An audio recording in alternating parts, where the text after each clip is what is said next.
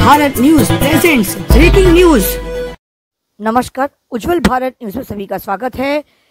उमरगांव, नमस्कार, उज्जवल भारत न्यूज़ में सभी का स्वागत है। ब्रेकिंग न्यूज़ में 27 आठ 2024 को दोपहर करीब साढ़े तीन बजे उमरगांव के देवधाम इलाके में एक चाली में तीन साल की और तीन महीने की बच्ची के साथ, जिसकी उम्र लगभग तीन साल और तीन महीने थी, उसके साथ जो दुष्कर्म किया गया था, शाम करीब छः बजे उमरगांव पुलिस ने घटना को गंभीरता से लेते हुए तुरंत पुलिस कंट्रोल रूम, वलसाड़ व उच्च अधिकारियों को सूचना दी गई और पीड़ित लड़की के पिता की शिकायत। उमरगाम चौकी पुलिस निरीक्षक श्री एस डी चौधरी नाओ स्वर्गीय के द्वारा धारा पैंसठ दो और भारतीय न्यायिक संहिता 2023 बीएनएस की धारा पैंसठ दो एवं पॉस्को अधिनियम की धारा चार पाँच एम छः आठ के अनुसार मामला दर्ज कर लड़की के को तत्काल चिकित्सा उपचार के लिए भेजा गया था।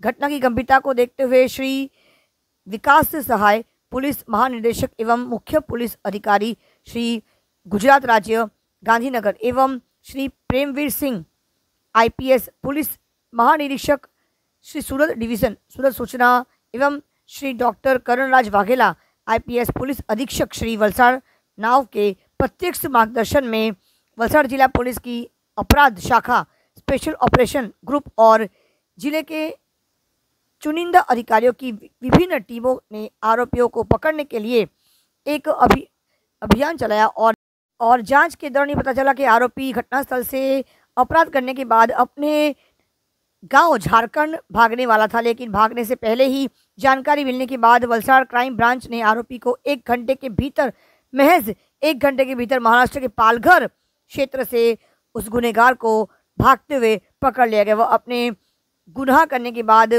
महाराष्ट्र पालघर की तरफ़ जा रहा था, लेकिन उसी रास्ते में उसे दबोचा गया। अपराध की जाँच कर आरोपी को सख्त से सख्त सजा दिलाने के लिए श्री बी एन दवे, उप पुलिस अधीक्षक श्री वापी नाव के नेतृत्व में एक विशेष जाँच दल का गठन किया गया है। फॉरेंसिक विशेषज्ञों की मौजूदगी में घटनास्थल का पंचनामा भी किया गया। आरोपी के साथ घटना का, पंचनामे का पुनर्निर्माण भी किया गया। आरोपी के कपड़े और मोबाइल फ़ोन की जब्ती का पंचनामा भी किया गया। आरोपी और पीड़िता को मेडिकल परीक्षण दिया गया। अपराध के संबंधित सीसीटीवी फुटेज भी पाए गए। मोबाइल की कॉल्ड डिटेल्स और मोबाइल की फॉरेंसिक जाँच भी की गई। जाँच के दौरान मिली सामग्री की फॉरेंसिक जाँच भी की गई। प्रत्यक्ष दर्शियों द्वारा कार्यकारी मजिस्ट्रेट के समक्ष आरोपी की पहचान परेड भी किया गया। न्यायिक मजिस्ट्रेट श्री बुरुबो बी एन एस एक को प्रत्यक्ष दर्शियों के बयान के अनुसार इस प्रकार की विशेष जाँच दल द्वारा आरोपी के विरुद्ध फॉरेंसिक, वैज्ञानिक, मेडिकल सभी प्रकार के तकनीकी, परिस्थितिजन्य और कानूनी साक्ष्य एकत्र करने के बाद ऐतिहासिक नौ दिनों में पहली बार वलसाड़ ज़िले की प्रसिद्ध विशेष पॉक्सो अदालत में आरोपी के खिलाफ सात सौ सत्तर पेज की, चार्जशीट पेश की गई। और सरदहू मामले की पैरवी, पॉक्सो मामले के विशेष लोक अभियोजक श्री अनिल त्रिपाठी, मुख्य लोक अभियोजक वलसाड़ जिला न्याय द्वारा की जाएगी। अपराध का आरोपी फ़िलहाल न्यायिक हिरासत जेल में है और पीड़ित लड़की अपने माता पिता के साथ घर पर स्वस्थ है। वलसाड़ ज़िले में पॉस्को एक्ट के तहत पीड़िता को शिकायत के स्तर पर 25 प्रतिशत मुआवजा देने और गुजरात सरकार की ओर से पीड़ित को मुआवजा देने की योजना का ऐतिहासिक आदेश प्रसिद्ध पॉस्को कोर्ट द्वारा किया गया है।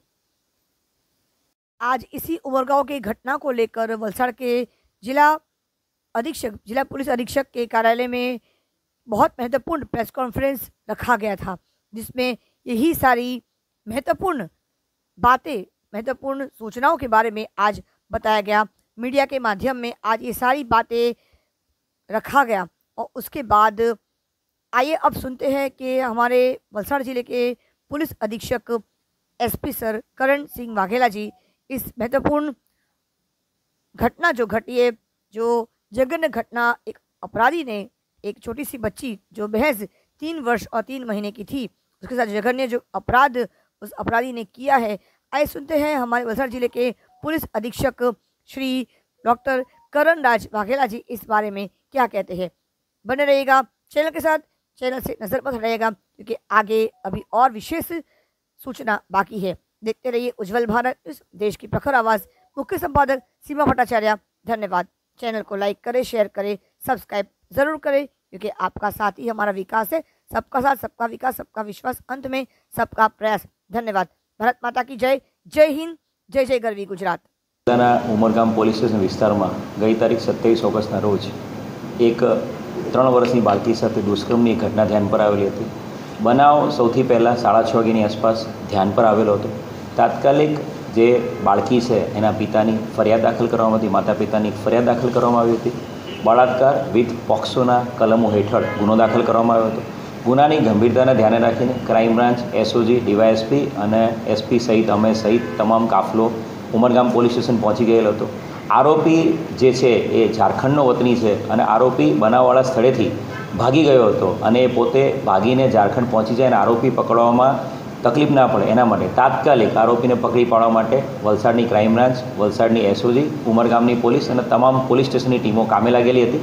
અને એક ચોક્કસ માહિતી આધારે ટેકનિકલ ઇન્ટેલિજન્સ હ્યુમન ઇન્ટેલિજન્સ આધારે. આરોપી એ મહારાષ્ટ્ર તરફ ભાગ્યો છે, એની હકીકત મળતા. વલસાડની ક્રાઇમ બ્રાન્ચે પારઘર જિલ્લાના એસપીને પાલઘર ક્રાઇમ બ્રાન્ચની મદદથી ચાલુ ટ્રેને આરોપીને પકડી પાડેલો છે. ફક્ત એક જ કલાકના ગાળામાં આરોપીને પકડી પાડવામાં આવ્યો હતો. આ બનાવની ગંભીરતાને ધ્યાને રાખીને માન્ય ગૃહ રાજ્યમંત્રી હર્ષ સંઘવી સાહેબ માનનીય ડીજીપી સાહેબ વિકાસ સાહેબ સાહેબ DG law and order Shamsher Singh સાહેબ આઈજી રેન્જ પ્રેમવીરસિંહ સાહેબ જે પોતે ઘટના બન્યા પછી તુરંત પોલીસ સ્ટેશન પહોંચી ગયેલા હતા. તમામની સૂચના એમના માર્ગદર્શન હેઠળ આ સમગ્ર બનાવની તપાસ, આ ઇન્વેસ્ટિગેશનની તપાસ જે કરવા માટે ડીવાયએસપી દવે સાહેબને તપાસ સોંપવામાં આવી હતી અને ડીવાયએસપી દવે સાહેબના નેતૃત્વ હેઠળ પીઆઈ શૈલેષ ચૌધરી, પીએસઆઈ સ્મિતા વસાવન અને ચાર માણસો, ટોટલ સાત માણસોની સ્પેશિયલ ઇન્વેસ્ટિગેશન ટીમની રચના કરવામાં આવી હતી. આ સ્પેશિયલ ઇન્વેસ્ટિગેશન ટીમે ખૂબ જ સફળતાપૂર્વક કામગીરી કરીને આ જે ગુનો બન્યો હતો, એને નવ દિવસની અંદર, ઐતિહાસિક નવ દિવસની અંદર ચારસો સિત્તેર પાનાનું એક આખું ચાર્જશીટ ગઈકાલે રજૂ કરી દીધું છે. આ સમગ્ર તપાસમાં ડીવાયએસપી દવે સાહેબની એસઆઈટીની ટીમે બનાવવાળી જગ્યાનું ફોરેન્સિક પંચનામું, આરોપીના કપડાં અને મોબાઈલ કબજે કર્યાનું પંચનામું આરોપીને સાથે રાખીને સમગ્ર ઘટનાનું રિકન્સ્ટ્રક્શન પંચનામું. બનાવના સ્થળેથી આરોપી જે ભાગ્યો તેના સમગ્ર સીસીટીવી ફૂટેજ આરોપીના જે કપડાં મળ્યા છે એની ફોરેન્સિક તપાસ. સાથે સાથે આરોપીના મોબાઈલની અંદર એનો જે ડેટા છે, એણે કરેલી ગૂગલ હિસ્ટ્રી એ એની તમામ હિસ્ટ્રી એના મોબાઈલના વિડીયોઝ અને ફોટોગ્રાફ્સ માટેની મોબાઈલ ફોરેન્સિક તપાસ. એની સાથે સાથે આરોપીનું અને ભોગ બનનાર બાળકીનું મેડિકલ તપાસ. આ સમગ્ર તપાસ દિન નવમાં પૂર્ણ કરવામાં આવી છે. અને નવ દિવસની અંદર આ સમગ્ર તપાસ પૂર્ણ કરીને કુલ ચારસો સિત્તેર પાનાનું ચાર્જશીટ ગઈકાલે સ્પેશિયલ પોક્સો કોર્ટમાં રજૂ કરી દેવામાં આવ્યું છે. આ કેસની ગંભીરતાને ધ્યાને રાખીને સ્પેશિયલ પીપી તરીકે વલસાડ જિલ્લાના district government Peter Anil Tripathi સાહેબની નિમણૂક કરવામાં આવી છે અને અનિલ ત્રિપાઠી સાહેબ પોક્સો કોર્ટમાં આગામી દિવસોમાં ડે ટુ ડે બેઝિસ પર આ કેસનું ટ્રાયલ ચાલે અને નજીકના દિવસોમાં જ આ કેસમાં હિયરિંગ કમ્પ્લીટ થઈને સજાનો હુકમ થાય એ પ્રકારની એમની કાર્યવાહી રહેશે. આ કેસમાં વધુ એક સફળતા પોલીસને મળી છે. પોક્સો કેસ, પોક્સો કોર્ટ દ્વારા આ કેસમાં દિન પાંચની અંદર અંદર જ જે ભોગ બનનાર પીડિતા છે એના પેરેન્ટ્સને, જે વિક્ટિમ કોમ્પન્સેશન સ્કીમ અંતર્ગત જે વચગાળાની સહાય, પચીસ ટકા સહાય, એનો બે લાખ પાસઠ હજાર પાંચસોનો ઓર્ડર દિન પાંચની અંદર, ગુનો દાખલ થયાના દિન પાંચની અંદર જ જે વચગાળાની સહાયનો બે લાખ પાંસઠ હજાર પાંચસોનો હુકમ પણ કોર્ટ દ્વારા કરવામાં આવ્યો છે. હાલ બાળકી એના માતા પિતા સાથે સ્વસ્થ સ્વસ્થ હાલતમાં છે અને બાળકી એકદમ તંદુરસ્ત સર, આરોપી પરિવારના